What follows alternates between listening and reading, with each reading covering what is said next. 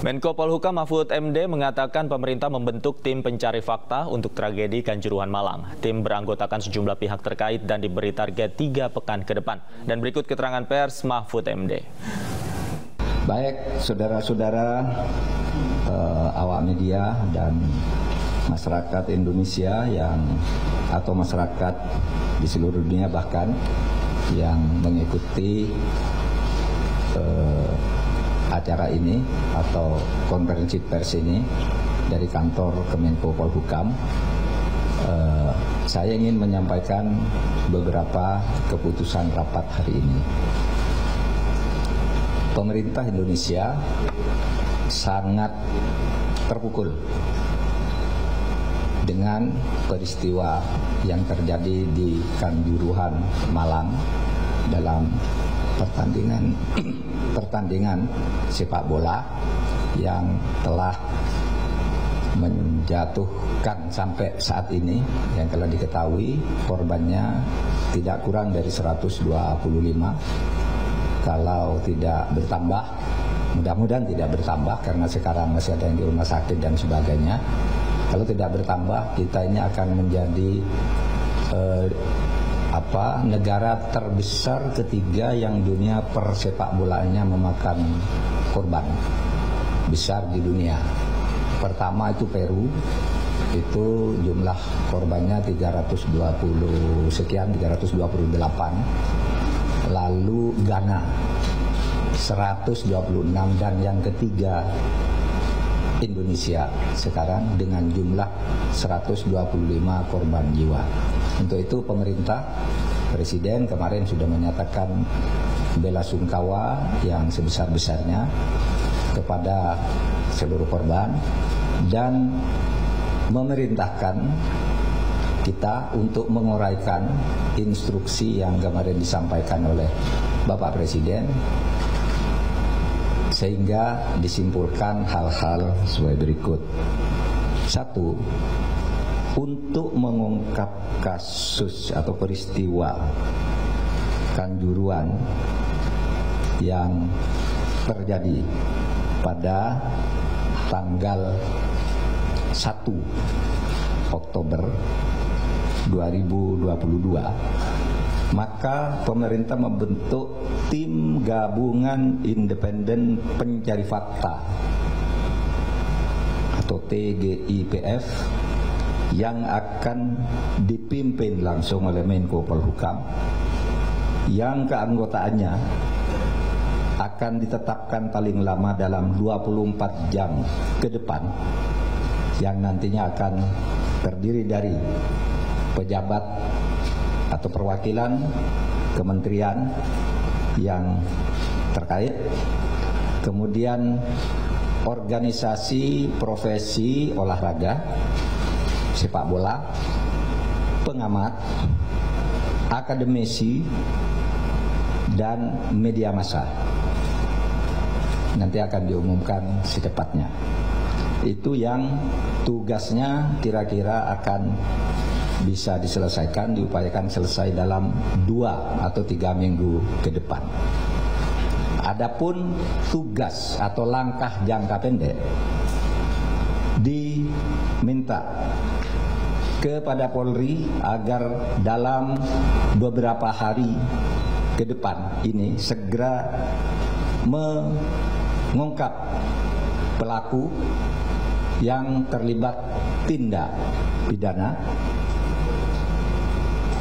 Karena tentunya sudah mulai dilakukan supaya segera diumumkan siapa pelaku pidana dari ini yang sudah memenuhi syarat untuk segera ditindak dan diminta agar Polri melakukan evaluasi terhadap penyelenggaraan keamanan di daerah setempat.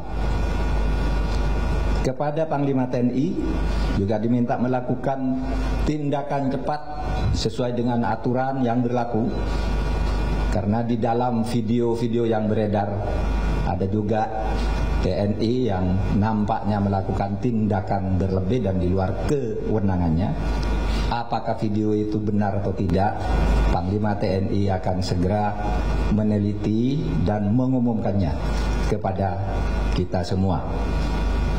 Kepada PSSI, supaya segera melakukan tindakan ke dalam secepatnya agar PSSI ini bisa dikendalikan secara baik.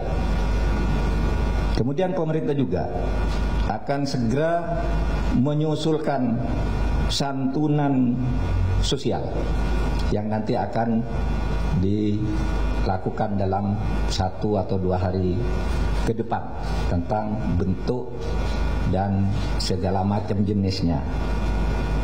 Kemudian Menteri Kesehatan diminta melakukan atau memberikan pelayanan kesehatan dengan tidak dulu mempersoalkan biaya biar negara yang ngurus seluruh perawatan bagi yang sakit yang masih dirawat dan sebagainya. Perlu obat ini obat itu.